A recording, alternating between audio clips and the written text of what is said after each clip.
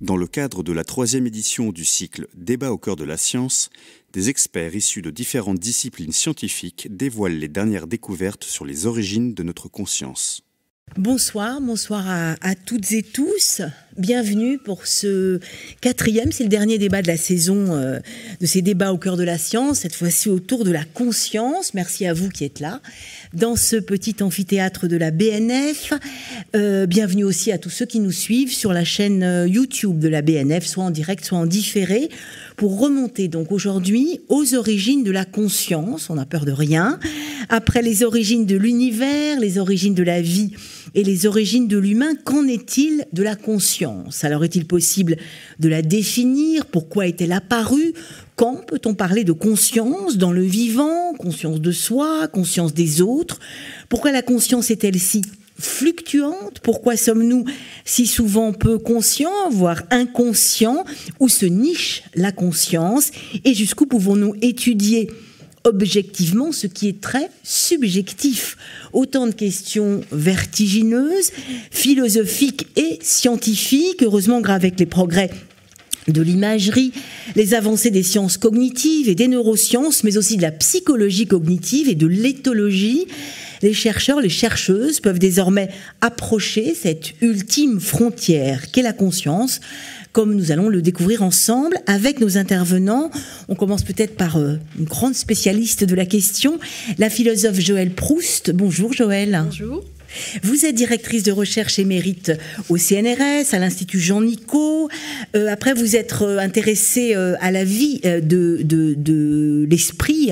On peut citer vos ouvrages, Comment l'esprit vient aux bêtes ou Les animaux pensent-ils. Vous vous consacrez désormais toutes vos recherches et vos travaux à la métacognition, c'est-à-dire à nos capacités de mémorisation, de raisonnement, au développement des capacités cognitives. Vous animez notamment le groupe de travail métacognition cognition et confiance de soi, tiens donc, au sein du Conseil scientifique de l'éducation nationale. On verra d'ailleurs que les émotions euh, jouent un rôle hein, dans la conscience. Et vous avez publié récemment aux éditions Odile Jacob Pensez vite ou pensez bien. On va essayer de faire les deux, notamment avec vous, Claire Sergent. Bonsoir. Bonsoir. Vous, vous êtes professeur de neurosciences cognitives à l'université Paris-Cité. Et ce que vous cherchez à comprendre, ce sont les, les bases neurologiques, neurobiologiques de la conscience. En gros, qu'est-ce qui se passe dans le cerveau d'un sujet quand il est conscient ou quand il est inconscient, euh, qu'est-ce qui euh, monte à la conscience, pourquoi et comment prend-on conscience de notre environnement ou pas? Vous nous montrerez d'ailleurs tout à l'heure, euh, test et image à l'appui, comment notre conscience peut nous jouer des tours. Ce sera une expérience à partager ici même. Jérôme Sacour, bonjour. Alors vous, euh, vous avez, si j'ose dire, une double casquette en psychologie et en, philosophie d'abord, hein, et en psychologie cognitive. Vous êtes directeur de recherche au CNRS, au laboratoire de sciences cognitives et psycholinguistiques. Vous avez donc une approche expérimentale de la conscience, ou plutôt du flux de conscience. Qu'est-ce qui fait qu'à chaque instant on est conscient ou pas? Et vous étudiez, vous utilisez pour vos travaux à la fois les données subjectives, donc ce qu'on vous dit, ce qu'on vous raconte, et vous comparez ce discours, ces données subjectives aux données objectives, aux examens, avec notamment les techniques d'imagerie. Vous défendez donc ces deux approches, euh, ce qui est évidemment une question centrale quand on parle de conscience, hein, finalement, comment étudier soi-même, comment comprendre la conscience si subjective en toute objectivité, c'est une question centrale. On va y revenir, mais d'abord, vous le savez, c'est la coutume, notre tradition. Nous ouvrons notre débat sur les origines de la conscience avec un texte déniché dans les trésors de la bibliothèque euh, euh, de la bibliothèque nationale de France. Il s'agit euh, de Buffon, hein, d'un texte de d'un texte de Buffon. Vous pouvez retrouver sur Gallica aussi un extrait du discours discours sur la nature des animaux de Buffon édité en 1877.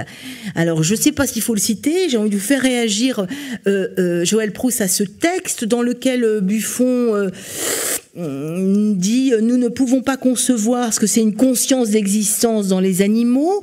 Heureusement, on a beaucoup changé depuis, heureusement, ça a avancé.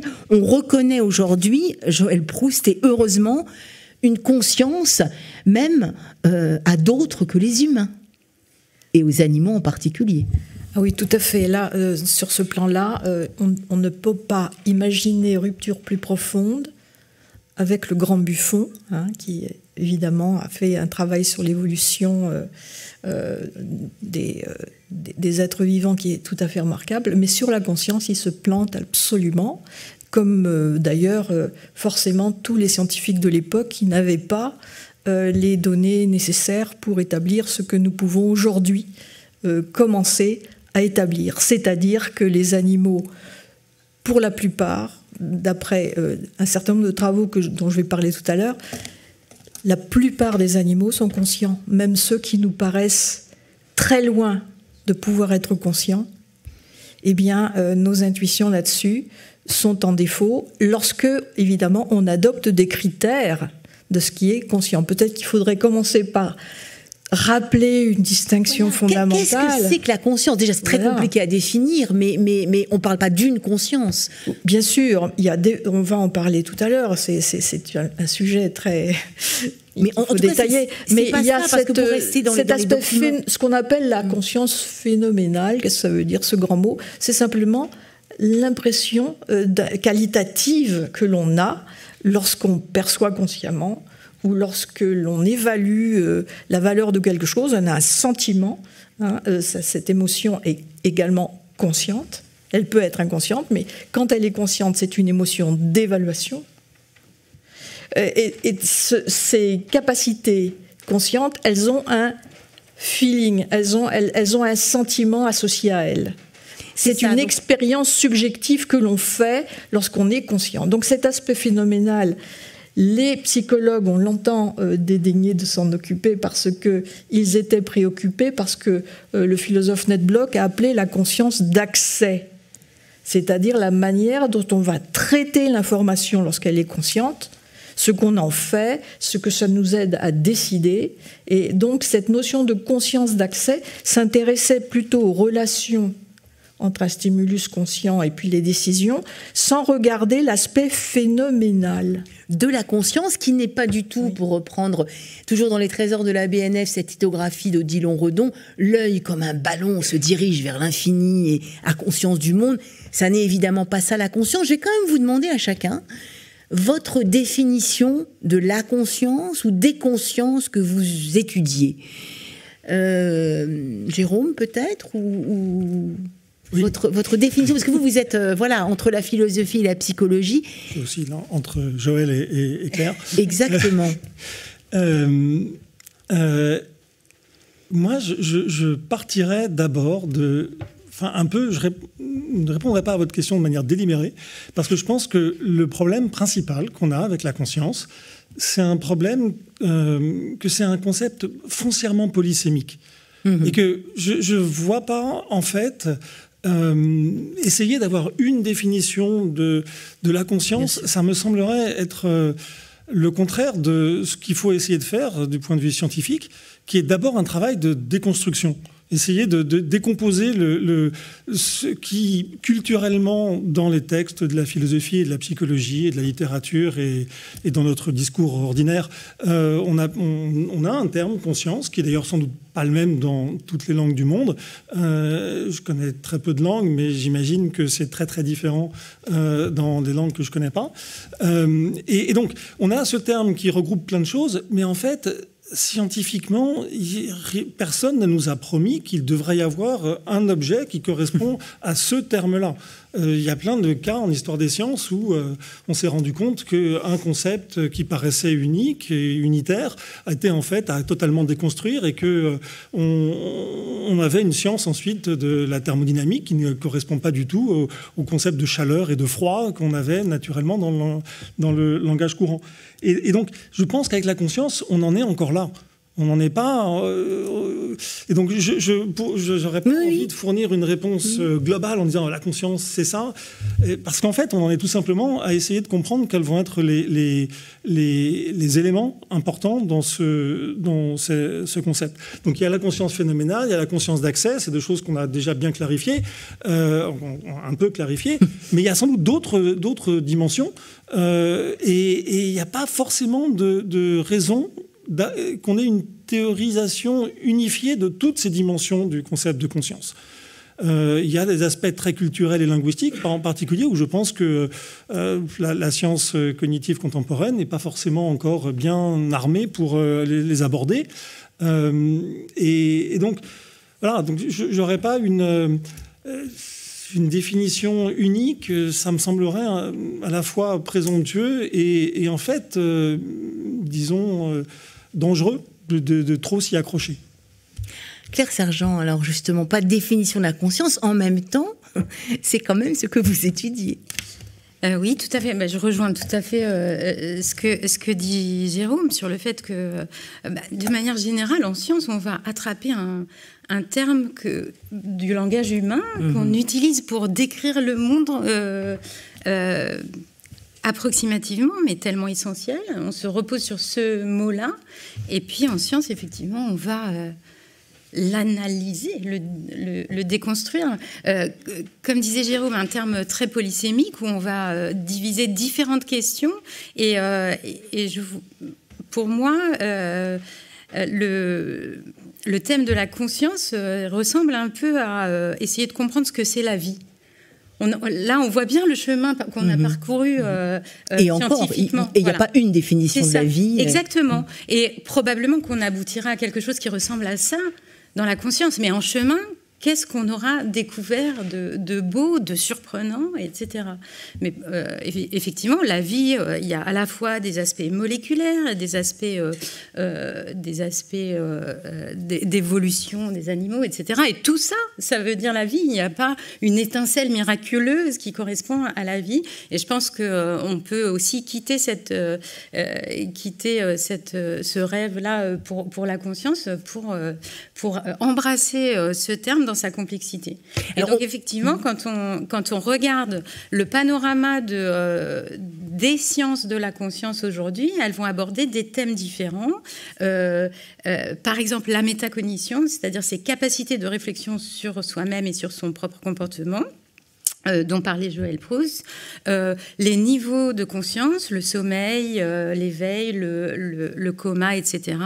et puis,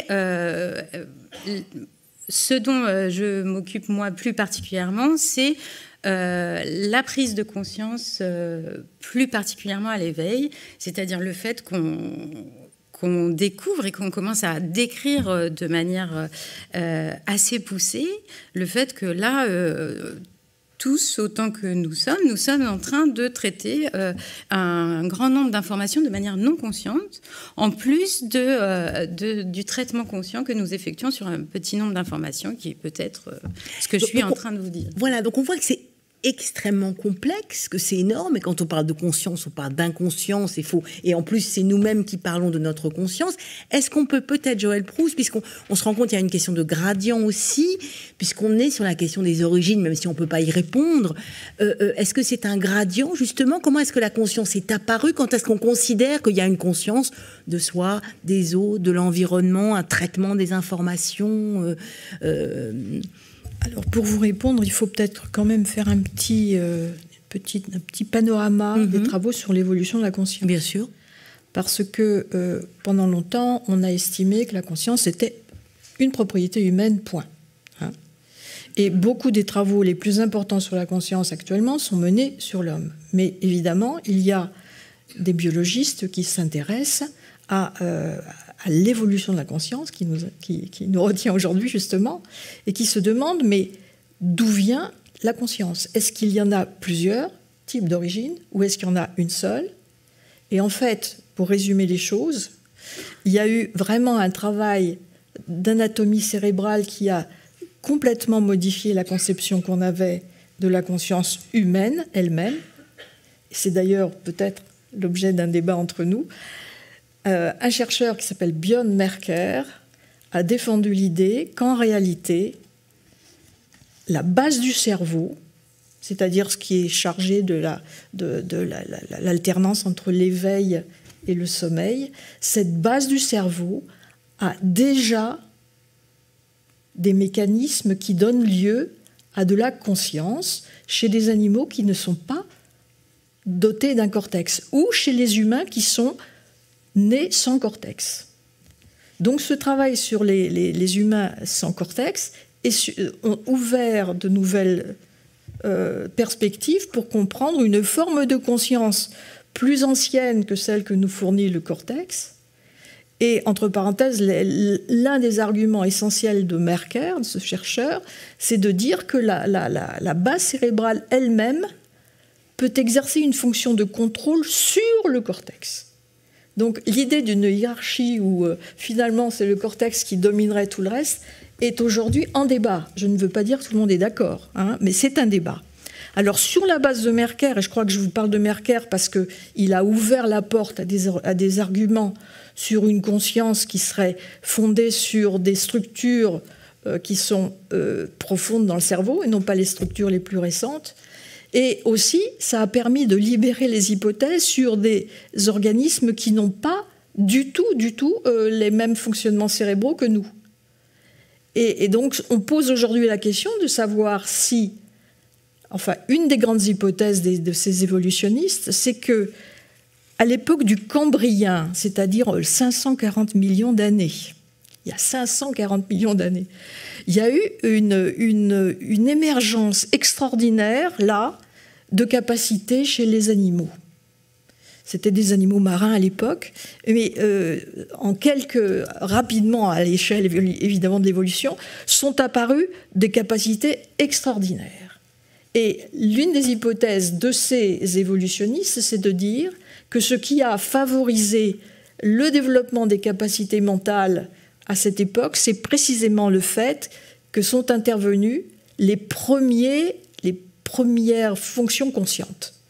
Alors ces premières fonctions conscientes, il les voit où? Je sais pas, je vais pas tenir la, la jambe pendant mm, trois quarts d'heure mm. quand même sur cette question, mais je vais simplement rappeler ces trois fonctions de base qui seraient la perception, telle qu'elle est par exemple chez la mouche, hein, la mouche, notre mouche commune, eh bien pour eux, la mouche représente déjà une forme de contact euh, subjectif avec le monde, mais euh, subjectif limité à la perception, c'est-à-dire sans ce que nous, nous avons acquis après, au fil de l'évolution, à savoir, la deuxième période, c'est l'évolution, l'évaluation, le fait de trouver quelque chose comme euh, ayant une valence positive ou négative. Donc, d'après les travaux encore tout à fait euh, en, coatifs, hein, c'est le tout début, on se dit la mouche, elle n'a pas l'évaluation. C'est-à-dire, elle voit. Ce qui est bon ou mauvais pour elle. voilà, elle ne, elle, ne, elle ne traduit pas ça par un sentiment subjectif de valence comme nous l'avons pour ce qui est positif ou, négatif. Et puis, la troisième grande période qui se développe aussi à l'édicarien, euh, pardon, euh, au cambrien, c'est l'intégration. Ça, c'est vraiment une donnée très importante, y compris pour les données euh, les plus récentes sur l'homme. L'intégration des fonctions cognitives est permise par les stimuli euh, conscients et pas par les stimuli inconscients, qui continuent à, évaluer, à, travailler sur une fraction de l'information très réduite, alors que les, stimuli conscients, ils peuvent faire appel à toutes sortes de données euh, diverses. Mais ça, mes, collègues qui sont spécialistes vont, vont vous en parler. Avant de parler de ce qui est conscient ou inconscient, on se rend compte aussi qu'on est bien loin du seul test du miroir hein, pour évaluer la conscience chez les animaux. On est vraiment passé à autre chose. Euh, Jérôme Sacure, vous, vous travaillez à la fois sur les, on revient aux humains, perception subjective des humains, c'est-à-dire que vous collectez et que vous alliez finalement, euh, ce qui est assez nouveau en science aussi, et peut-être obligatoire pour la conscience, la perception subjective des sujets et de regarder ce qui se passe à ce moment-là dans le cerveau. De quoi on est conscient, de quoi on n'est pas conscient, c'est ça? Oui, euh, absolument. Mais en fait, moi, je, voudrais bien euh, euh, poser la question à, Joël. Mmh, allez-y, allez-y. Sur qu'est-ce qui fait qu'il y a de la perception consciente, mais il y a aussi énormément de perception inconsciente. Euh, donc, comment peut-on savoir que la perception de la mouche est consciente ou pas consciente? Évidemment, elle perçoit le monde, mais percevoir le monde, répondre aux stimuli dans le monde extérieur, Euh, tous les organismes le font. Le, le, mmh. élégance le fait aussi. Le petit verre élégance, oui. Tout, les, les, les, virus aussi, en un sens, ils vont pas aller n'importe où, donc ils réagissent. donc, est-ce que c'est, est-ce que le fait d'avoir d'être en contact avec le monde extérieur est une preuve de conscience? Évidemment non. Sûr que non. Et, on sait très bien chez l'humain aussi qu'il y a, comme le disait Claire, des, des, centaines de stimuli qui à chaque instant ne sont pas conscients. Donc moi, je veux bien que les, processus perceptifs se compliquent euh, progressivement au cours de l'évolution.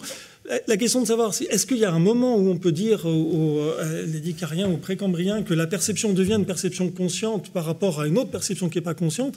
J'en je, doute, parce que, au fond, le concept de conscience tel qu'on le manipule et qu'on le connaît et qu'on sait ce que ça veut dire, c'est par rapport à l'adulte humain qui parle. C'est-à-dire que si on peut dire qu'il y a de la perception consciente par rapport à de la perception inconsciente, c'est parce que nous avons des adultes humains euh, qui parlent avec lesquels on se rend compte qu'on peut leur présenter parfois des stimuli et qui disent euh, Ah oui, oui, je l'ai vu. Et d'autres fois, ils disent Ah non, j'avais rien vu. Et pourtant, on peut leur dire Ah oui, mais là, tu as bien réagi. En fait, tu as répondu, tu as l'impression d'avoir répondu au hasard, mais en fait, tu as répondu exactement au stimulus qu'on t'avait montré. Donc, en un sens, tu l'as perçu. Il y a eu de la perception inconsciente. Et ça, on peut le démontrer de manière euh, très, très précise en laboratoire. Et, c'est parce que ces adultes humains peuvent nous dire Ah oui, mais dans certains cas, je le vois, dans d'autres cas, je ne le vois pas, qu'on peut dire que notre concept de conscience, il prend, il prend racine dans cette distinction qui est éminemment subjective. Et donc, euh, chez l'animal, euh, comme la mouche, est-ce que, que la mouche perçoive, alors là c'est évident, mais qu'elle perçoive consciemment ou pas, je ne sais même pas si la question, je saurais la poser. Alors, Joël, là, il va falloir répondre. Hein. Bien sûr. Oui, d'ailleurs, ce n'est pas mon travail. Hein. Je, ne fais que refléter, enfin exprimer ce que j'ai lu dans, dans, ces travaux sur l'évolution de la conscience. Les chercheurs se sont intéressés à une comparaison entre les nématodes et les mouches. Les vers nématodes. Les vers, hein, les vers, les nématodes. Parce que le nématode, qui est aussi un bilatérien, parce que c'est très important, cette structure bilatérienne semble être la précondition pour qu'apparaisse la conscience. Euh, les nématodes, eh bien, euh, ils n'ont pas de vision. Ils n'utilisent pas la vision. Ils utilisent euh, les mécanorécepteurs, ils utilisent l'olfaction, mais pas la vision. Et d'après les chercheurs, cette vision-là donne des ouvertures, soit non soit, que n'ont pas les nématodes qui sont entièrement immergés dans leur propre corps et dans leurs propres impressions. Ce qui voudrait dire qu'il y a conscience quand il y a soi et non soi. Voilà, cette première différenciation procédurale, hein, bien sûr, l'animal ne va pas répondre c'était pas moi. Mais il va tout de même agir en fonction de ce qu'il a traité comme information. Donc ce que disent les chercheurs, c'est que cet aspect référentiel que, euh, en tant qu'identification d'un objet à l'extérieur, est permise par la perception de la mouche et n'est pas permise par la perception du nématode. Donc ils ont des arguments de ce genre. On, va avancer hein, vers des organismes plus évolués, puisqu'on sait que les oiseaux ont vraiment une conscience d'eux-mêmes, les éléphants, ah, les primates. alors je ne suis pas sûre que mes collègues soient d'accord, il faut ah. voir avec... Pardon? Euh, non, moi je disais que, enfin, voilà, qu'on a quand même évolué sur enfin, la conscience. Euh, un chercheur comme Franz de Waal qui dit sommes-nous trop bêtes pour comprendre l'intelligence des, animaux et qui lui semble dire qu'effectivement la conscience chez des grands mammifères comme les éléphants, les primates, les oiseaux, mm. même conscience de soi existe. Mais vous, euh, Claire Sergent, vous travaillez justement sur euh, le fait que nous humains, alors grands mammifères, on est conscient de nous-mêmes, des autres, sauf que des fois on n'est pas du tout conscient de certaines choses totalement évidentes. Et on vient d'en parler, et vous nous avez apporté, et j'aimerais bien que vous le commentiez, je vais le lancer, une image, un petit test, c'est ça, hein, que vous proposez euh, à vos sujets pour essayer de, comprendre. Et c'est assez troublant parce que moi je l'ai fait, je l'ai refait et refait. C'est extrêmement troublant. Je lance le test, il est pour vous euh, qui êtes ici ou, ou derrière votre écran. Expliquez-nous. Alors donc, euh, donc je vous invite à fixer euh, le petit point vert qui clignote au centre de l'écran. et juste voilà, observer ce qui se passe dans votre perception. Et moi-même, je le fais, j'ai un écran ici aussi. Et alors, normalement, au bout d'un moment, vous allez observer quelque chose d'étrange. Qu'est-ce que vous observez? Est-ce que oui, certains points jaunes disparaissent. Est-ce que tout euh, qui a vu des points jaunes euh, disparaître? Voilà, ça marche. voilà, j'utilise ça parce qu'en général, ça marche. ça marche très bien à tous les coups. Voilà. Euh, et aucun point jaune ne disparaît euh, de l'écran, en fait. C'est ça qui est intéressant. C'est il disparaît de, de, votre conscience. Donc, bien sûr, c'est difficile. Si vous voulez, je peux l'arrêter et le recommencer, même quand on le sait. Moi, je. Voilà. Donc, je vais passer à autre chose et puis je vais revenir oui, dessus. Sinon, et après, on va arrêter parce que ça fait mal. Euh, voilà, ça va, ça va faire mal au corps. Mais même quand on le sait, on n'arrive pas. Oui, oui, à rester conscient de ces points. Oui, moi, je l'ai. Je, ah, vous, vous je, je, m'y adonne de temps en temps. De temps en temps, je me rouvre la, vidéo. Mais si ça marche, ça marche bien. Alors, expliquez-nous. On va arrêter parce qu'on va effectivement avoir mal à la tête ensuite. Mais expliquez-nous, euh, Claire Sergent, comment se fait-il que, euh, que telles illusions d'optique sont au fond des illusions de conscience, enfin de moments conscients et pas conscients. Alors je ne sais pas si, si j'appellerais ça une illusion, eh mais en tout cas c'est un, un, cas, un cas de stimulus qui nous permet de, de, de, prendre conscience de ce dont on n'a pas conscience. Voilà. C'est assez, assez rare parce que par définition, euh, tout ce dont nous ne sommes pas, nous n'avons pas conscience, euh, nous n'y avons pas accès. Voilà. Et ça n'est que par l'intermédiaire d'un tiers, un expérimentateur qui va euh, vérifier euh, que qu'on va pouvoir savoir qu'effectivement on a traité une information euh, de manière non consciente. Donc ça, ce, type de, stimuli nous permet de prendre conscience de notre non-conscience. Mais il y a tout un tas d'autres types de protocoles qu'on va pouvoir utiliser, et c'est vraiment le un, paradigme fondamental qu'évoquait déjà euh, Jérôme Sacure, euh, dans lequel la même stimulation va pouvoir euh, être perçue de manière consciente par le stimulus et on va récolter son rapport subjectif, on va, en quelque sorte le le prendre au sérieux, le noter comme une des données de l'expérience. Euh, euh, le mot euh, pour ce genre de procédure, c'est l'hétérophénoménologie, ce qui est, ce qui est un, gros mot pour dire en fait le, le fait d'utiliser des données subjectives, mais comme d'une manière objective, comme une des données de ah, l'expérience. comme une des données. Et ça a été vraiment une clé dans euh, l'avancée des, sciences euh, euh, sur la conscience, je pense. Jérôme Sacure, je veux bien vous faire réagir là-dessus parce que évidemment que c'est très étonnant en science et pour un sujet comme la conscience où on est dedans et dehors, d'allier en fait finalement de ne pas prendre que des données subjectives bien sûr, mais d'allier à l'objectivité des données subjectives. On est bien obligé quand on étudie la conscience. En fait, c'était crucial pour que la psychologie devienne scientifique euh, le fait qu'elle arrête d'être simplement basée sur l'introspection des mhm. psychologues. C'est-à-dire que quand on a voulu faire de la psychologie expérimentale scientifique à la fin du 19e siècle, euh, l'idée c'était que le sujet de la psychologie c'était nécessairement la conscience. Que c'était comme, les physiciennes et les physiciens étudiaient euh, le, monde, le monde matériel, mhm. les psychologues étudiaient la conscience. Et que donc, comme on ne peut pas avoir un autre accès à la conscience que par sa propre introspection, eh bien, c'était la donnée, le, travail des psychologues consistait à mettre en ordre l'introspection des psychologues. Et évidemment, c'est impossible de faire de la science avec ça, parce que c'est pas de l'hétérophénoménologie, c'est de la de de la de l'autophénoménologie, c'est simplement de raconter sa propre introspection, et ça donne pas des données publiques vérifiables, et on peut on peut pas débattre. Si quelqu'un dit ah non, je ne suis pas d'accord. Euh, vous dites que vous, vous ressentez telle chose, moi, je ne le ressens pas. Eh ben, on ne peut pas euh, se mettre d'accord sur les données. on ne fait pas de science s'il n'y a pas de publicité des données. Donc, le point crucial, ça a été que on a abandonné cette manière de faire. Et pendant une bonne partie du XXe siècle, on a cru que ça voulait dire qu'on ne pourrait pas parler de la subjectivité en psychologie qu'il fallait abandonner l'autophénoménologie, donc abandonner tout simplement la phénoménologie, qu'on parlerait que des réactions, des comportements, ce genre de choses-là. Et le point qui, fait qu'on on peut faire ce qu'on fait maintenant, euh, c'est quelque chose dont on a pris conscience progressivement depuis les années 70-80, qu'en fait, on pouvait, 1900, 70-80, euh, euh, qu'on pouvait faire de la science avec les données subjectives, mais non plus en prenant pour argent comptant les données que nous rapporteraient les sujets comme un élément de construction des théories, mais comme une donnée expérimentale parmi d'autres.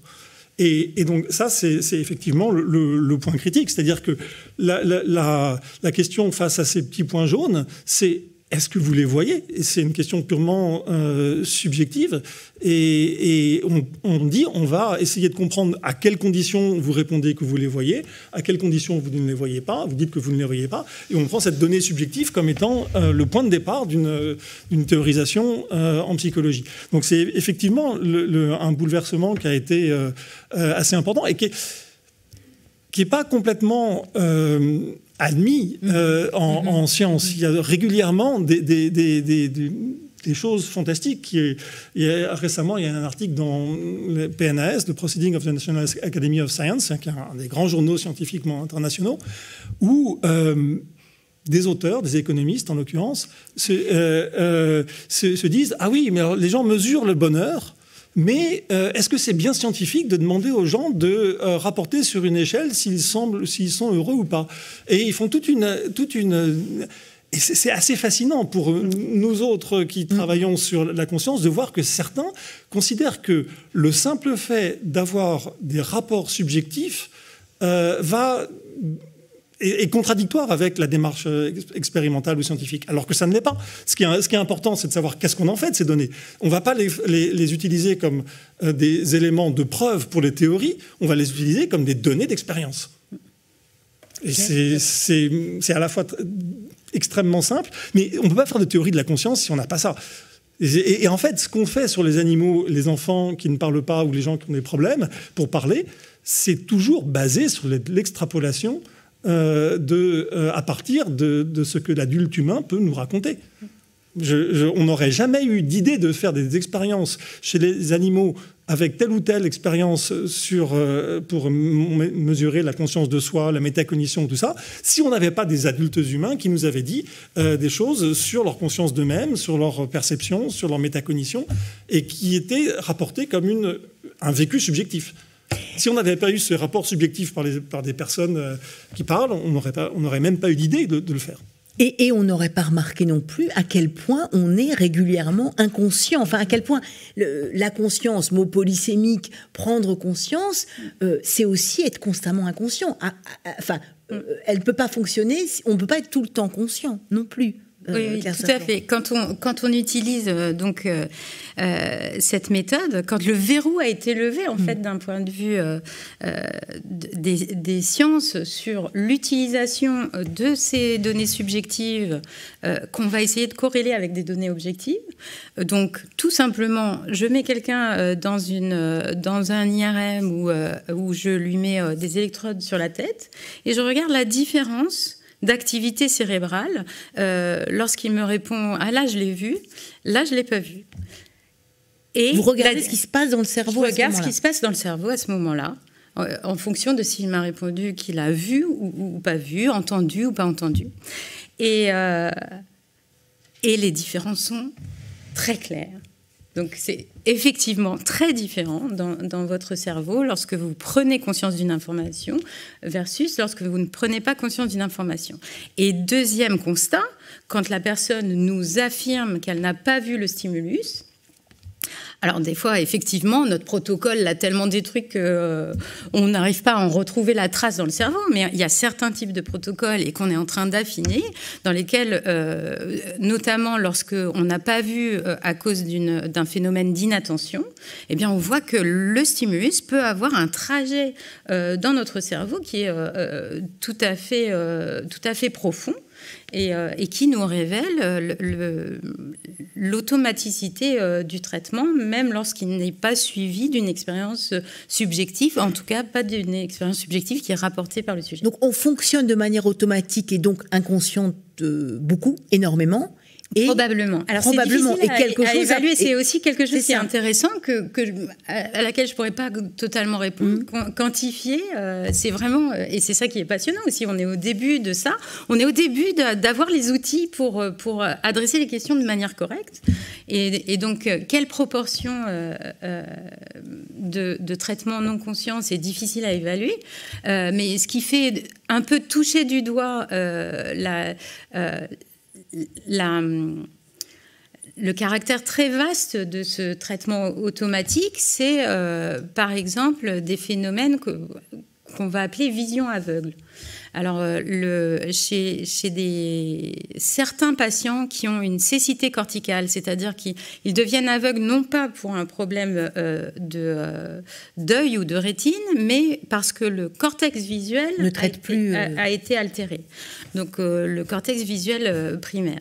Donc ces personnes vont vous, vous dire qu'elles sont aveugles, elles vont, elles vont avoir une plainte euh, subjective, et effectivement, il y a plein de choses qu'elles n'arrivent pas à faire, mais chez certaines de ces personnes qui, qui sont parfois aveugles sur l'ensemble de leur champ visuel, les chercheurs se sont aperçus de manière incidente, hein, comme ça, et puis ensuite ils l'ont testé, ils se sont aperçus que chez certaines de ces personnes, elles étaient complètement capables de traiter l'information visuelle, euh, malgré tout, euh, pour naviguer dans leur environnement. Donc sans savoir qu'elles voyaient, au fond. Elles voyaient sans, savoir qu'elles voyaient. En, disant, voilà, mm. c'est comme si vous aviez euh, un, aveugle qui vous dit non, je vois rien du tout, vous lui retirez sa canne blanche et vous lui dites maintenant traverse la rue. voilà. Et, chez certaines de ces personnes, on, on observe ça lorsqu'on les force euh, à, à, faire la tâche. Bien sûr, dans des environnements euh, sécurisés, sécurisés contrôlés. Euh, et, et, et, ce, qui, ce qui nous révèle, c'est des expériences qui ont été répliquées chez les singes aussi, chez les, chez, dans lesquelles on a euh, vu que des lésions euh, très, euh, très fortes du, cortex visuel primaire, eh bien, le singe continuait à, se balader dans son environnement parce qu'il y a d'autres d'autres connexions que celles qui vont au cortex visuel primaire qui traitent l'information visuelle dans le cerveau. Elles ne donnent pas lieu à un sentiment subjectif de voir, mais ce sont elles qu'on utilise de manière tout à fait courante pour, pour naviguer. Et donc là, je suis là en train de faire des gestes pendant, pendant, que je parle et je, je sais que c'est un système automatique qui les, produit. Donc au fond, on peut être euh, conscient sans être conscient, mais aussi, il y a quelque chose de très important que vous avez soulevé là-dedans, qui est sous-jacent. Et, là-dessus, je voudrais vous interroger, Joël. C'est aussi que quand on parle de la conscience, de ces questions de conscience, et, qui mettent en jeu énormément de choses, c'est aussi lié aux émotions. Vous avez parlé de ressentir, hein et c'est quand même très très important. Et ça, c'est aussi quelque chose qu'on découvre. Alors, je trouve que c'est pas mal que, que, je parle après, euh, Claire, sur ce sujet, parce que si on prend au sérieux la perception, la vision non consciente versus la vision consciente, on peut se poser la question pour la douleur. Est-ce que la douleur peut être non consciente? Et en fait, le concept de nociception, mm-hmm. c'est le concept qui a été utilisé pendant euh, euh, plusieurs décennies pour caractériser la souffrance animale. L'idée étant que les animaux ont mal, mais ils ne le savent pas. C'est pratique. Euh, euh, pratique oui. Non, mais c'est malheureusement à l'INRA, euh, puisque j'ai été amenée à travailler avec les chercheurs de l'INRA, qui tenaient absolument mordicus à soutenir que la nociception chez l'animal, chez chez c'est pas conscient. Et il donnait des arguments qui ont été depuis réfutés, en particulier par Jacob Panksepp et d'autres, pour montrer qu'en fait, euh, la localisation de la, conscience de la douleur dans le cortex est qu'une possibilité parmi d'autres et qu'il y a d'autres sites neuronaux qui euh, rendent consciente la douleur. Et, c'est un sujet de société. C'est-à-dire aussi, Joël, c'est-à-dire aussi que la conscience, c'est pas dans un endroit du cerveau, que ce soit chez les humains ou chez d'autres animaux, c'est partagé, distribué, et, ça se distribue de manière différente. Là, là, il y a plein d'hypothèses qui, mhm. qui, sont en lutte. Hein. Il y a certaines Mais hypothèses. Qui toutes réfutent l'idée d'un seul, site. D'un seul site, oui. Mais euh, penser que les animaux, parce qu'ils n'ont pas le même cortex que nous, parce qu'il y a quand même des animaux qui ont aussi des cortex, mais pas mhm. les mêmes que nous. Euh, est-ce que le fait que leur cortex soit moins développé, leur néocortex soit moins développé, est-ce que ça veut dire qu'ils ne vont pas souffrir de façon qualitative, c'est-à-dire ressentir la douleur? Et là, alors euh, je vous signale qu'il y a un travail considérable qui est fait sur l'évolution de la conscience pour regarder quels sont les animaux qui font quelque chose lorsqu'ils ont été blessés, qui, se, qui essayent de se soigner. Hein. Et on trouve des choses remarquables. Par mm. exemple, les crevettes. les crevettes se soignent alors que les mouches, pour revenir à elles, elles se soignent pas. C'est ça, hein, quand même. Hein. Les, mouches, elles n'ont pas cette évaluation euh, qualitative de la douleur au point de se soigner. Du moins, peut-être ont-elles aussi des raisons, des raisons entre guillemets évolutionnaires de ne pas le faire, parce que leur durée de vie n'est pas est insignifiante par rapport à la crevette. Et quand on a pas mal de vie devant soi, on a envie quand même de se réparer, quoi. Et, donc, ça, ça, veut dire que l'évolution a pousser, euh, enfin, les, à favoriser l'émergence de conscience dans ces, dans ces espèces-là. Mais c'est tout de même fascinant de voir qu'on peut, on peut repérer les comportements d'auto... Euh, euh, je sais pas comment. Soins ou d'auto-réparation. Oui, mm. en français. on, le, on, le, voit chez certaines espèces et pas du tout chez d'autres. Il y a même une espèce dans laquelle les, les petits dévorent leur maman ça fait partie de leur, de leur développement, de dévorer les intestins de leur maman pour pouvoir ensuite se lancer dans le monde. Donc en fait, on voit que la notion de douleur est quelque chose qui est lié à, aux fonctions, euh, à la sélection évidemment. Hein. Ça vient pas là par hasard. Il faut qu'elle ait une fonction dans la survie. Et, des et, on voit aussi que euh, euh, pour observer la conscience et notre conscience elle-même, euh, je ne sais pas si c'est lié quand on est conscient ou pas conscient, elle est aussi très liée à nos émotions. C'est quand même quelque chose qui est assez nouveau, ça aussi, de, euh, enfin qu'on le considère comme cela. Donc c'est absolument pas éthéré, c'est vraiment intégré dans un corps euh, et c'est lié aux émotions. Et vous l'étudiez aussi comme ça. Tout à fait. Et chez les enfants, par exemple, Joël aussi. Euh, bah, les euh, émotions, parce qu'on oublie, on oublie toujours de voir que les émotions, ça, ça, touche des domaines extrêmement variés. Là, on vient de parler de la douleur, il y a une valence positive, négative. Mais nos émotions intellectuelles, par exemple le sentiment de savoir, le sentiment d'ignorer, le sentiment de confusion, le sentiment au contraire de bien comprendre, tout ça, ce sont aussi des émotions. Elles ont bien entendu un appui sur du traitement cognitif, mais aujourd'hui, on ne distingue pas le cognitif de l'émotionnel comme on le faisait encore il y a 20 ans. On voit bien que le cognitif ne peut fonctionner que sur la base d'évaluation constante du fait qu'on est bien, on est bien dans son, dans son plan de compréhension, dans, son plan d'exploration, et pour ça, il faut des émotions tout, du long. À propos de la conscience, il y a aussi des travaux qui ont énormément fait avancer les choses par rapport à des patients justement totalement inconscients, euh, dans le coma notamment, où, il est très important de pouvoir euh, euh, mesurer en fait le niveau de conscience, savoir si la personne est consciente ou pas. Là aussi, on a beaucoup avancé. Tout ce qui est état modifié de conscience, vous parlez du euh, sommeil, l'éveil, euh, voilà, il y, a toutes ces questions-là. Il y a tout un gradient dans la conscience. Mais là aussi, alors je ne sais pas si c'est Jérôme ou, ou, vous qui allez, qui y répondre, mais on a aussi beaucoup avancé euh, sur ces questions-là. En tout cas, on pose d'autres questions, de nouvelles questions. Oui, tout à fait. Déjà, on, découvre de nouvelles classes de, d'état. Euh, et de conscience, d'état de conscience ou d'inconscient. Enfin, de... Mm. Euh, alors, on, a beaucoup avancé, mais là, j'ai envie de dire, mais vraiment pas assez. Ah mais euh, oui, donc moi, je m'intéresse notamment à, un certain type de patients euh, qui est surprenant, qui, euh, qui est euh, les patients les patients non communicants et donc avec différentes catégories, patients végétatifs, patients minimalement conscients. Ce sont des patients qui, après une phase de coma suite à un trauma crânien ou, ou un un, AVC, euh, vont sortir du coma, c'est-à-dire ils vont montrer les signes d'éveil, donc euh, les signes euh, habituels qu'on lit à l'éveil, c'est-à-dire l'ouverture spontanée des yeux, et un, un, électroencéphalogramme, donc l'enregistrement de l'activité spontanée du cerveau, qui, qui, qui, a, qui a plutôt des caractéristiques d'éveil plutôt que euh, des caractéristiques de coma. C'est-à-dire. Donc de conscience, enfin oui, de, alors d'éveil, justement. Ah. Je dirais pas forcément de conscience. C'est là où, où, une dissociation surprenante pour nous oui. Euh, a l'air de se faire jour. C'est-à-dire que certains de ces patients, malgré euh, ces signes d'éveil, ne montrent pas tous les, tous les autres signes qu'on va associer à la, à la conscience. Et euh, notamment, on n'arrive pas à établir de communication ou, euh, stable avec euh, ces patients, etc. Et donc, c'est là que la recherche fondamentale rencontre une question pratique qui, qui, rend son, son, questionnement plus aigu. Une qu'on a un test de conscience comme on pourrait avoir un test de grossesse? La réponse est non.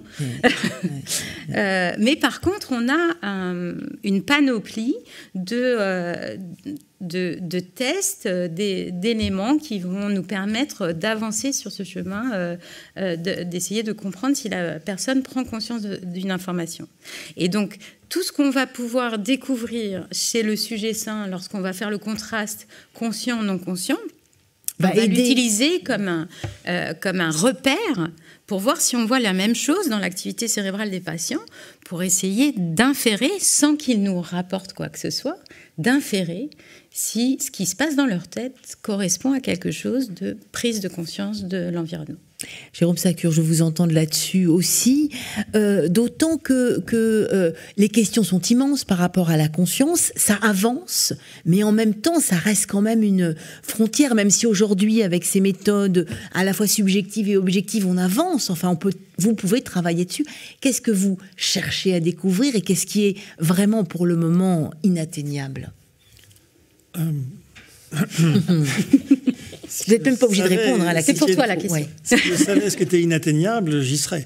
Euh, c'est pas faux. Euh, non, je, crois que pour développer un peu à partir de ce qu'a ce mm. dit Claire, je crois que c'est vraiment. en fait, on a besoin d'énormément d'imagination expérimentale parce que il y a un nombre de fois assez considérable où on est totalement toute personne censée euh, actuellement, peut-être que si j'étais il y a 50 ans, j'aurais dit que les animaux ne se ressentaient pas la douleur et je me serais senti très sensé. Mais euh, actuellement, ça me semble insensé de, dire une chose pareille. Euh, maintenant, toute personne sensée a certaines certitudes, que les, par exemple les, les bébés euh, ont des formes de conscience euh, bien développées, très très, très jeunes. Donc on, sait tout, ce, genre de choses-là. Mais après, réussir à le démontrer hmm. expérimentalement et montrer quelles sont les, caractéristiques euh, de ces différentes formes de conscience chez les bébés, chez les patients, chez les animaux, c'est extrêmement difficile. Et donc, par exemple, là, je travaille avec une, collègue qui euh, essaye de montrer que les chimpanzés et les orang-outans ont conscience d'apprendre, qu'ils savent les règles qu'ils ont apprises. Et en fait, c'est en un certain sens, quand on regarde ces animaux euh, euh, travailler en laboratoire, on dit bah oui, c'est clair, c'est évident de, voir qu'il il, a compris quel type de règles on lui demande de faire. Mais réussir à le démontrer expérimentalement, c'est d'une complexité euh, redoutable parce que ces animaux-là, par ailleurs, n'ont pas le même contrat euh, expérimentale que nous avons avec les adultes humains. Et donc, en fait, ils trouvent tous les moyens possibles pour faire l'expérience, gagner les, grains de raisin, les grains de raisin secs, de manière, en, faisant tous les, raccourcis qui n'étaient pas prévus par l'expérimentatrice, et, et, donc on n'arrive pas à montrer en fait ce qui est évident. Et, en fait, mm-hmm. l'extrapolation qu'on arrive à faire sur les degrés de conscience, elle est en général assez modeste. Par exemple, quand notre collègue euh, Sid Quider avait réussi à montrer euh, la, conscience perceptive de, visuelle chez des enfants de 18 mois, mhm. euh, ça lui avait demandé des années d'efforts littéralement trois ou quatre ans d'efforts euh, extrêmement ardus et complexes pour réussir à montrer de manière carrée, expérimentale, qu'en fait, il y avait une différence entre les stimuli que les enfants voyaient et ceux qui ne voyaient pas. Donc, alors que du point de vue, en un certain sens, de n'importe quel parent, qui a eu un enfant de 18 mois, c'était une évidence. Alors on pourrait se demander, on pourrait, certaines personnes vont dire, euh, quel est l'intérêt? De, prouver, de venir prouver des évidences. Et j'ai certaines personnes euh, qui me disent, mais Rousseau l'avait déjà bien, l'avait bien dit. Euh, et oui, Rousseau l'avait dit. Mais réussir à le montrer expérimentalement, ça a un bénéfice très précis, qui est qu'on arrive à montrer les limites des concepts qu'on ne peut pas mmh. faire tant qu'on n'a pas de preuves expérimentales. Et puis parfois, il y, a des, dans les cas où on arrive à avoir des tests, comme, ce que Claire euh, souhaiterait avoir euh, avec les patients euh, qui ont des troubles de la conscience, ça serait concrètement, ou avec les, les, animaux aussi, pour les questions de traitement humain ou pas humain des animaux, ça serait évidemment pratiquement très très important. Mais c'est en fait, il faut à chaque fois se dire que le travail expérimental est extrêmement lent et, difficile par rapport à ce qu'on voudrait réussir à montrer. Et parfois, parce que là tu évoques euh, des, des thèmes où, euh, où, on sent que nos, nos, intuitions vont être vérifiées, mais parfois nos intuitions sont, ne sont pas vérifiées. C'est là, mm-hmm. c'est, là aussi qu'il y a des, des progrès. Euh, intéressants. Alors, je, par exemple, si par exemple, quand est-ce qu'on est justement sur la, sur la, complètement à côté de, de la réalité au fond? Ah, non, j'ai, alors j'ai pas d'exemple particulier. Je, là, je, pense à, un point euh, précis, mais qui, qui, qui relève pas d'une intuition générale commune, euh, euh, mais, du fait que récemment, dans, dans mes expérimentations, j'avais supposé que ce test donnerait soit le résultat A, soit le résultat B, et j'ai eu le résultat C. Euh, et, c'est là que euh, euh, j'ai acquis un savoir plus grand que si j'avais uniquement départagé entre A et B. Ça, c'est les scientifiques qui sont toujours contents quand ils trouvent autre chose que de côté attendu. je, voudrais répondre au sujet de la métacognition animale, parce qu'il se trouve que j'ai travaillé là-dessus pendant plusieurs années. je ne sais pas quel est le test auquel tu parlais quand il s'agissait d'un test de, concernant la conscience d'avoir appris. C'est bien ça? Oui, c'est les. Euh, sur quand on fait des tests sur des, les règles, l'apprentissage implicite explicite, le travail de Raphaël Malassi, oui. euh, apprentissage implicite explicite, est-ce qu'on euh, on peut réussir à montrer qu'il y a parfois de la connaissance explicite de règles et pas simplement de la métacognition D'accord.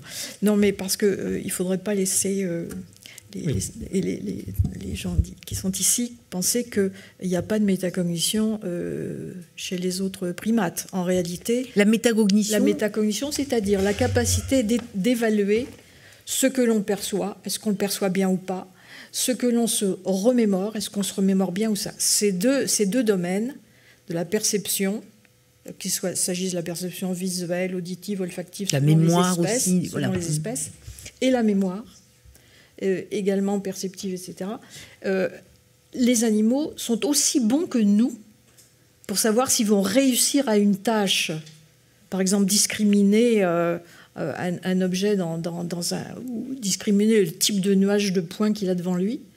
Ils sont aussi bons là-dessus que nous, ils peuvent prédire leur succès, et une fois qu'ils ont fait la tâche, ils peuvent rétrospectivement juger s'ils ont bien fait la tâche. Donc ils sont aussi bons que nous pour la perception et la mémoire. Mais ça ne veut pas dire qu'ils ont, comme nous, euh, euh, toute la sensibilité euh, à des opérations plus complexes, en particulier justement, je pense que la notion d'apprentissage telle que nous, nous la représentons, l'animal n'a pas ce recul sur l'apprentissage et peut-être est-ce que ça explique les, difficultés expérimentales que, tu rencontres? Mais puisque vous parlez, Joël Proust, d'apprentissage, je veux bien vous entendre aussi sur, euh, parce que vous travaillez là-dessus au sein du, Conseil scientifique euh, l'éducation nationale, sur euh, le lien aussi entre l'attention et la conscience et sur la manière d'apprendre et comment est-ce que vos recherches à vous sur la conscience peuvent aussi être transmises à des professeurs, à des instituteurs pour changer peut-être la manière dont on apprend, faire attention à ce dont on est conscient ou pas conscient, à développer l'attention ou pas.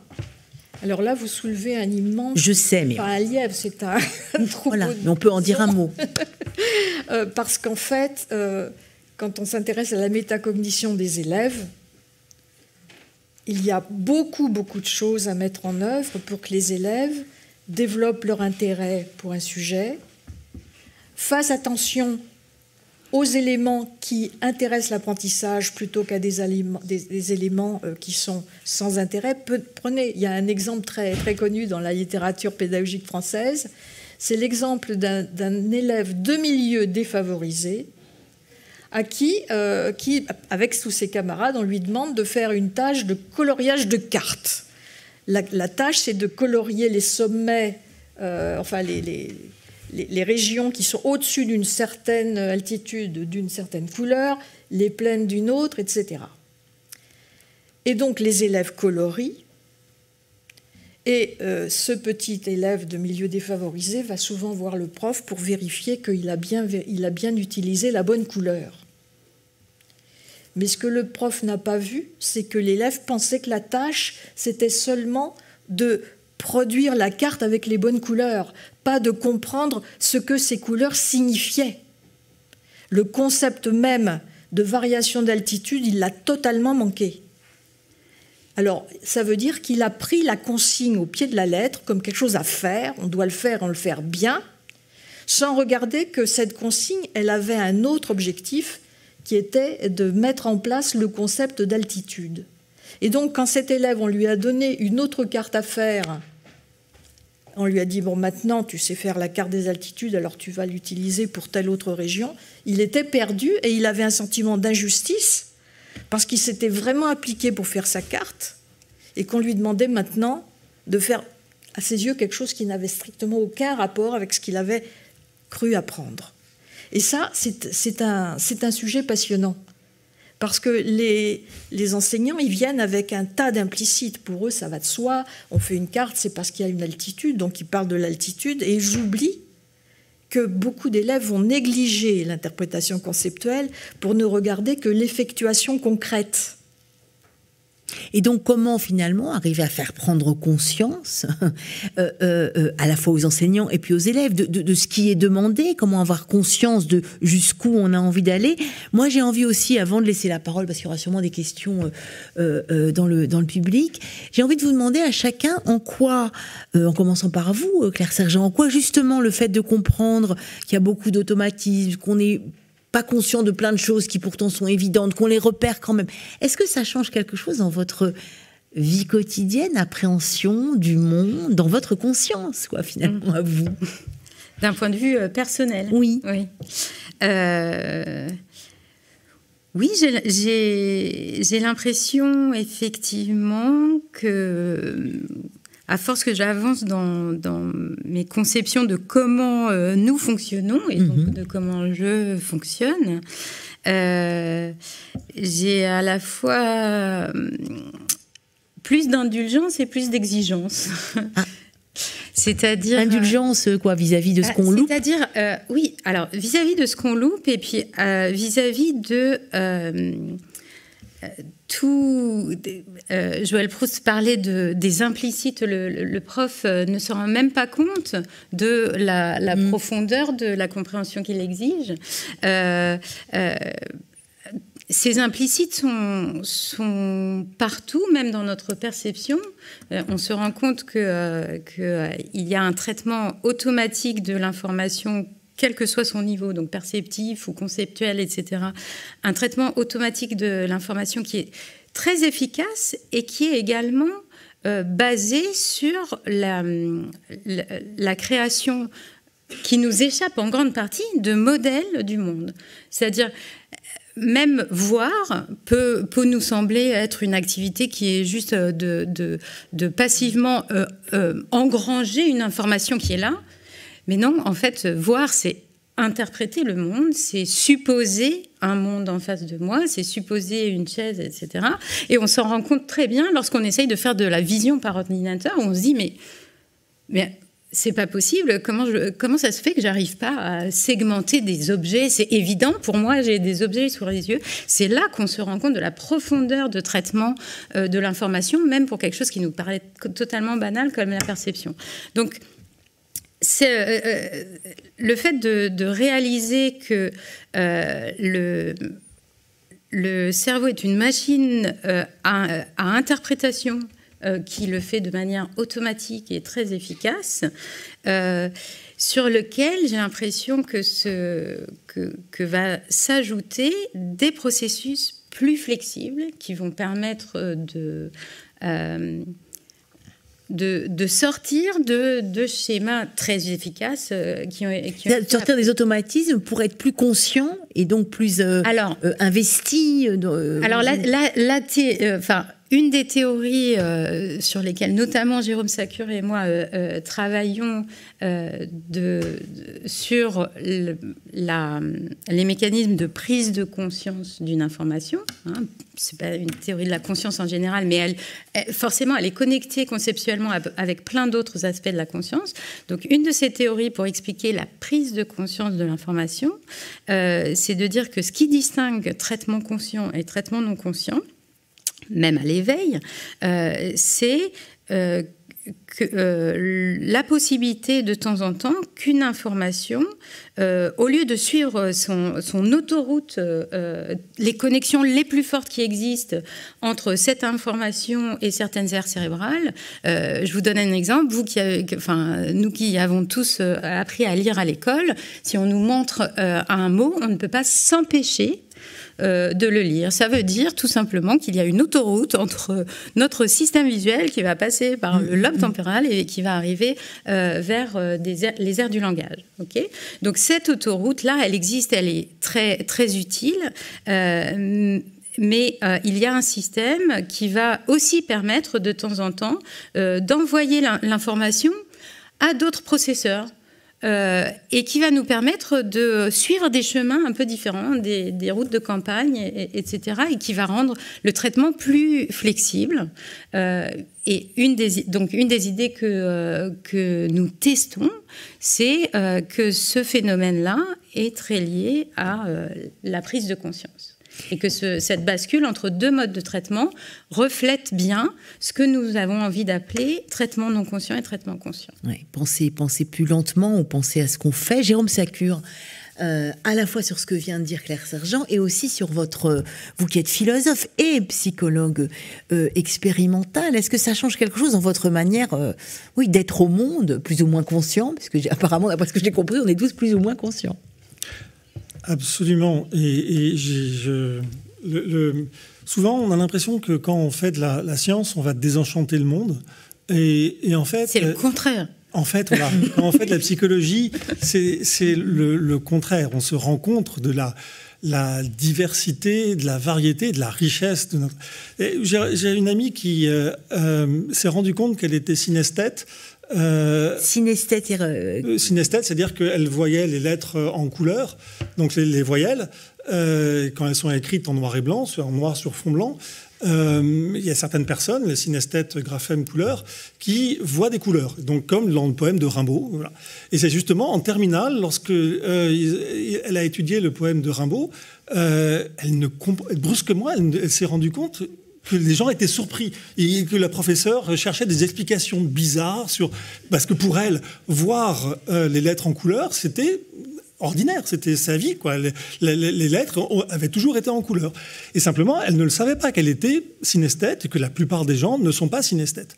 Et donc, quand on fait de la psychologie, en fait, on, est, euh, on apprend ce genre de choses-là. Et donc, on, est euh, éveillé à la diversité de, l'expérience humaine. Mm-hmm. Et quand on travaille sur la conscience, on est euh, éveillé aux diversités des expériences conscientes et à leur, complexité.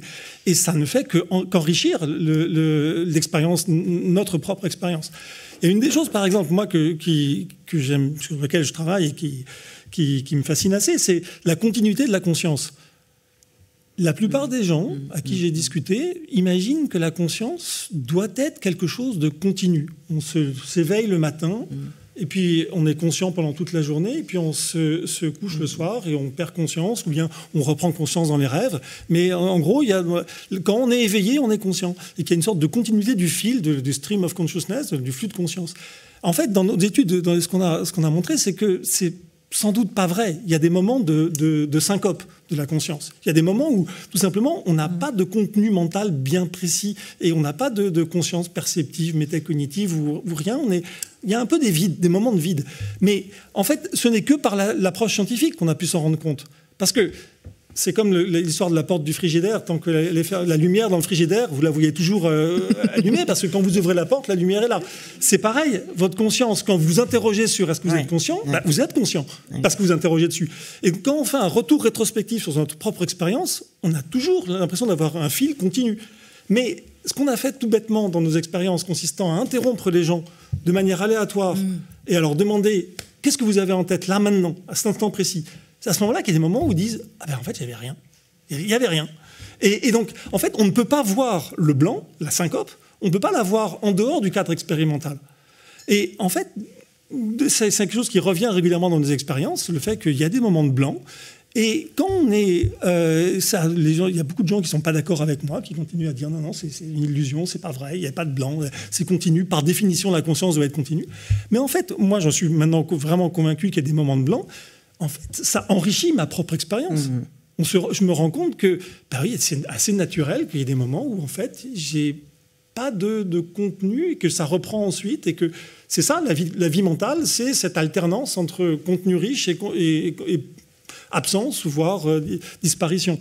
Et ça ne peut apparaître que dans une élaboration à partir d'une expérience où, un tiers, en fait, nous, nous, fait prendre conscience de la, complexité et de la diversité de notre expérience. Donc oui, c'est évident que c'est tout le contraire du désenchantement. Je suis bien d'accord. Joël Proust, votre euh, est-ce que ça vous change? Est-ce que ça vous a changé? Ça fait de nombreuses années que vous travaillez sur la conscience des animaux, sur la voilà. Est-ce que, euh, euh, évidemment, comme comme Jérôme Sacre vient de le dire, il y a, un côté, d'enchantement merveilleux, de, très intéressant de découvrir oui, alors bien sûr, tous les chercheurs sont des, fous de recherche. On adore faire ce qu'on fait parce que c'est un, métier où on n'arrête pas de, se régaler. Mais je voudrais dire quand même que peut-être le plus marquant pour moi, comme je pense beaucoup de chercheurs, c'est de comprendre ce que c'est que l'émotion. Parce qu'avant avant de l'étudier théoriquement, chacun a une vie émotionnelle, avec des, des moments très difficiles, bien sûr, avec des moments heureux. Et quand on travaille sur l'émotion, ça permet de prendre du recul sur tout ça, de comprendre qu'il euh, y a une fonction biologique derrière tout ça et qu'il ne faut pas en être complètement... Euh, il ne faut pas s'y abandonner comme, euh, comme si c'était quelque chose qu'il faut croire dur comme fer, comme étant une propriété du monde. C'est simplement une propriété de votre propre cerveau. Et, je crois qu'il faut vraiment là-dessus, enfin ça ouvre des perspectives formidables pour se calmer un peu, pour prendre les choses autrement et, euh, et puis euh, euh, surtout ne pas, ne pas adhérer à des conceptions de soi-même qui sont extrême, extrêmement nocives finalement et qui vont passer elles aussi. Il y a la diversité hein, aussi dont on a parlé. Peut-être que tout ça suscite des questions, consciemment, inconsciemment. Oui, je, vois au, premier rang. Euh, je ne sais pas qui a le micro. Ah, il, arrive, il arrive le micro.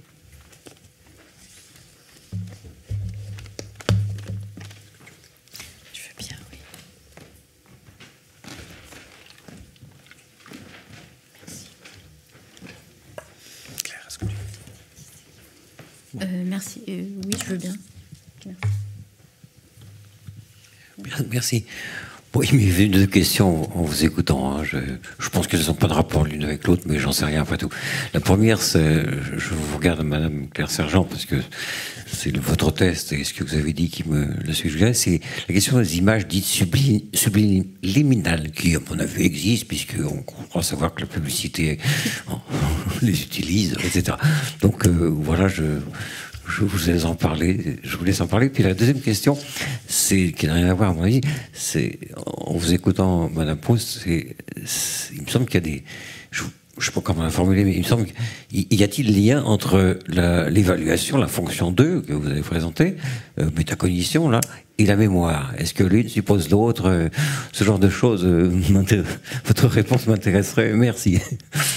On commence peut-être sur les images subliminales Oui, oui euh, donc tout à fait. Les, images subliminales, elles ont un, nom en recherche, c'est euh, ce qu'on appelle le protocole de masquage. Euh, mais ce sont des, des, images subliminales. Le principe, c'est de montrer une image brièvement Mais brièvement, ça ne suffit pas pour, euh, pour mettre en défaut euh, le, système visuel. Euh, même une image très très brève, 10 millisecondes ou moins, peut être détectée et analysée par le système visuel consciemment. Euh, pour rendre cette image inconsciente, on va également euh, présenter avant et après cette image euh, d'autres images, mais qui, qui, sont, qui ont des propriétés similaires, mais qui ne sont pas cette image. Donc typiquement, un visage entre je sais pas, deux paysages contorsionnés, mais qui vont avoir des propriétés statistiques similaires. Euh, et, là, euh, cette image, on va réussir à la faire disparaître de la conscience, euh, mais effectivement, par des tests souvent assez ardus d'ailleurs, on va pouvoir démontrer qu'elle a quand même un trajet dans, dans le traitement cérébral de la personne. La personne ne sait pas qu'elle l'a vu, mais elle l'a quand même vu. Oui, voilà. Alors, ceci étant dit, avec ce genre de technique-là, euh, on, va pouvoir démontrer, parce que je pense que c'est l'implicite de votre question, est-ce qu'on peut manipuler, euh, voilà, donc euh, rendons l'implicite explicite, est-ce qu'on peut manipuler la pensée, manipuler des décisions et les décisions des consommateurs, voilà, acheter avec avec les images subliminales, eh bien, ce que nous disent les expériences en laboratoire, c'est que probablement c'est voué à, l'échec. Pourquoi? Parce que les influences qu'on va voir de ce stimulus sont extrêmement faibles. C'est-à-dire que il nous, a, il nous faut euh, des, expériences extrêmement euh, minutieuses. Euh, pour, euh, euh, réussir à mettre en évidence ces toutes petites influences. Les, effets vont être des, des, changements de temps de réponse de, quelques dizaines de millisecondes, vous voyez, et surtout, euh, cette influence est très labile. C'est-à-dire qu'au bout d'une seconde, vous n'avez plus d'influence. Alors, euh, donc, je pense que euh, Coca-Cola devrait continuer à avoir des publicités explicites, conscientes, bien grosses, parce que ça marche bien aussi. les images subliminales, pour l'instant, ça, ça, ne fonctionne pas trop. Merci pour votre réponse. Alors, Joël. ah, oui, Jérôme, bien sûr renfoncer le clou. Mm. En fait, c'est une, c'est un canular. L'expérience, euh, la pseudo-expérience d'influence euh, euh, n'a jamais été faite, tout simplement. Elle est apparue dans un texte comme ça, dans les années 70, mm. mais personne n'a jamais inséré des images subliminales dans un, dans un film pour que les gens ensuite consomment. Si, il y, a eu des cas. Il y, a eu l'image de François Mitterrand dans le, dans ah le générique. Il y a eu des tentatives. Est-ce qu'elles ont eu une influence? Euh, le, laboratoire nous dit que non, mais euh, il y a eu des tentatives. Il y a eu euh, donc oui, c'était dans le générique d'Antenne 2. Il y avait l'image de François Mitterrand qui apparaissait avant une des élections, ce qui a fait beaucoup de. Hein? Voilà. Voilà. Voilà. Et puis régulièrement, ça revient. Je crois qu'il y a eu des élections américaines avec euh, Democrats are rats euh, présentées en image subliminale dans un, une des pubs. Dans un clip, Donc a priori, ça marche pas bien. Alors que par contre, on sait qu'il y a des images. Des fois, il y a, enfin, ce fameux test autour du gorille. Il y a des, des enfin, on sait que qu'on peut ne pas voir quelque chose, mais ça n'influence pas finalement. Bah, ça influence, mais en tout cas, attendez, ça influence, mais ce genre de technique là. Euh, marche pas très bien. Laissez tomber. Joël, donc sur la deuxième question hein, différente, sur le lien entre l'évaluation hein, dans, la métacognition et, la mémoire. Oui, alors la métacognition, ça sert à agir euh, cognitivement. Et donc quand on essaye de se rappeler quelque chose, on passe toujours par un moment d'évaluation avant d'essayer de se rappeler, savoir si c'est quelque part accessible ou pas. Donc ça, il y a cette première évaluation avant de faire l'action. Quelle que soit l'action cognitive, vous avez toujours une première phase où vous demandez si vous êtes capable de faire ça, si, l'effort en vaut la peine, etc. Mais très, très rapide, c'est vrai. Et c'est extrêmement rapide, les, gens n'en sont pas toujours conscients, mhm. mais ils ont un sentiment conscient qui les, qui les pousse à faire la chose. Donc il y a une sorte d'ouverture hein, vers, vers l'activité. La, vers Et à la fin de l'activité, même chose, vous avez un moment d'évaluation, j'ai retrouvé le nom de la capitale de l'Australie. La plupart des gens croient que c'est Sydney, et ils sont très contents d'avoir retrouvé Sydney, et ils se disent, tiens, C'est exactement ce que je pense, et, tout le monde, d'ailleurs, euh, est d'accord, alors que c'est faux. et donc, cette évaluation euh, qui est fondée sur ce qu'on appelle la consistance et vient du fait que pendant que vous réfléchissez à la capitale, vous avez plusieurs hypothèses qui arrivent vers vous. Et si vous n'avez pas d'incohérence entre ces différentes représentations, vous avez une très forte confiance dans votre réponse. Donc vous voyez, c'est quelque chose qui n'est pas forcément euh, fiable. mais ce qui est intéressant, c'est que euh, les gens qui pensent euh, dans, une communauté plus ou moins homogène, hein, eh bien, qui pensent que la capitale de, de l'Australie, c'est Sydney, ils le croient dur comme fer, et ils le croient sans savoir que les autres le croient aussi. Donc ça, c'est un phénomène qu'on appelle la consensualité, qui euh, est, très intéressante et qui est actuellement étudiée euh, par un de mes collègues qui s'appelle Achir Coriat. Et, le lien, oui, je, pas, je, voudrais ajouter euh, l'évaluation en cours de remémoration. Hein. Il y a, dans la remémoration, vous pouvez avoir des fausses pistes. Vous avez un sentiment d'erreur.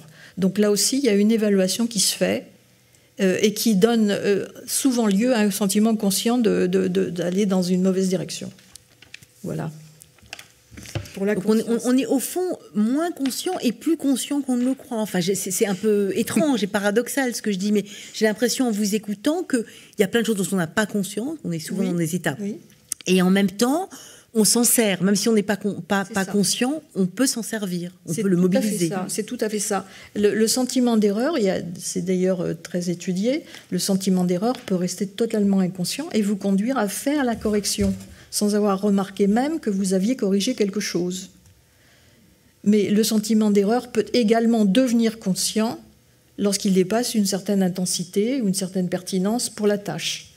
Et à ce moment-là, vous corrigez en toute connaissance de cause.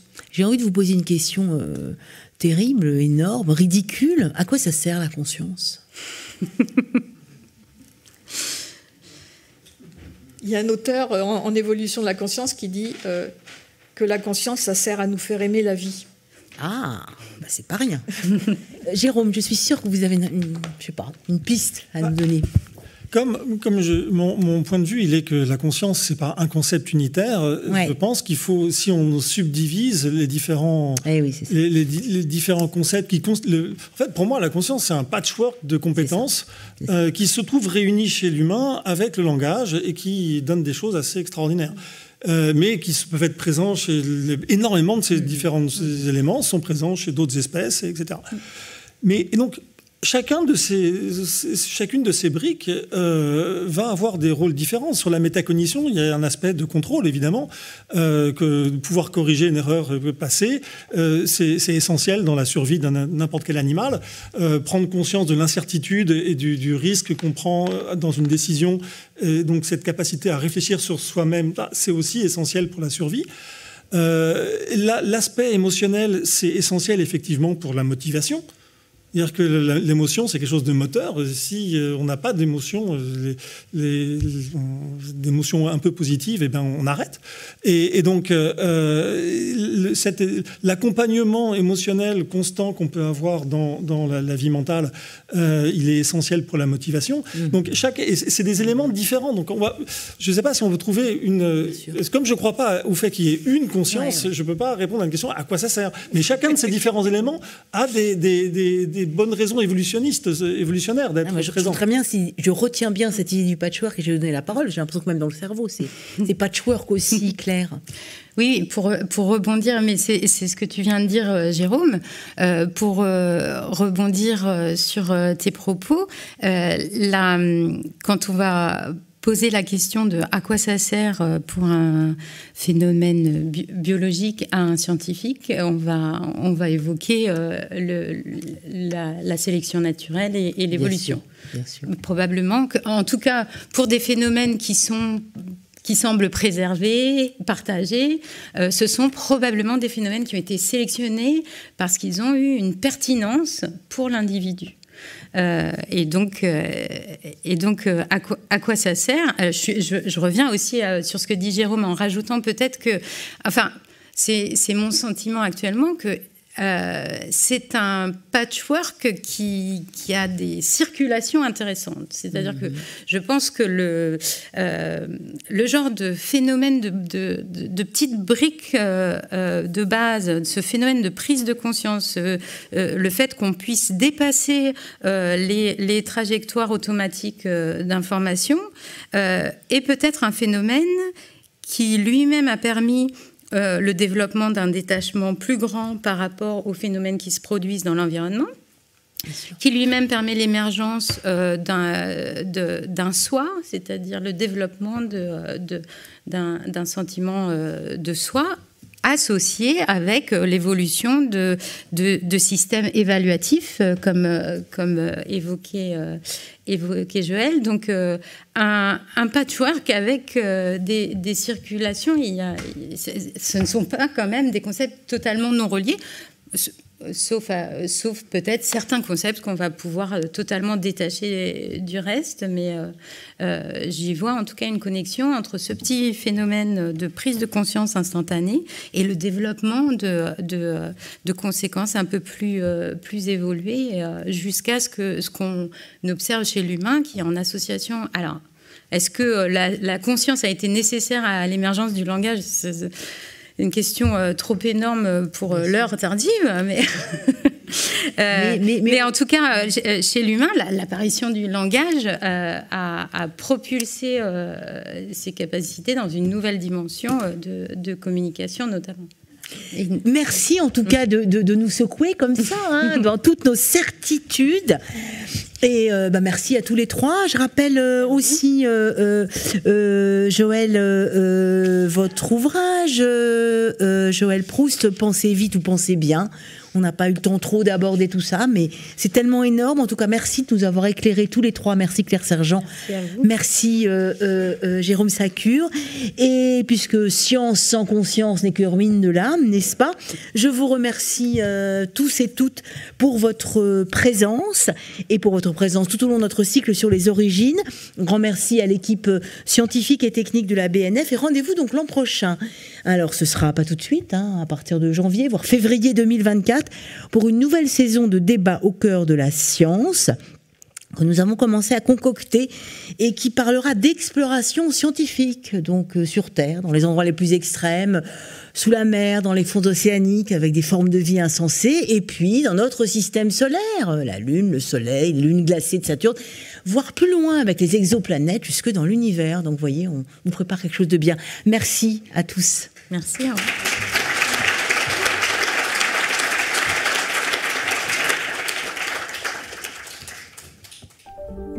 Vous venez d'écouter un podcast de la Bibliothèque nationale de France. Retrouvez les conférences, rencontres et créations de la BNF sur toutes les plateformes de podcast ainsi que sur le site bnf.fr.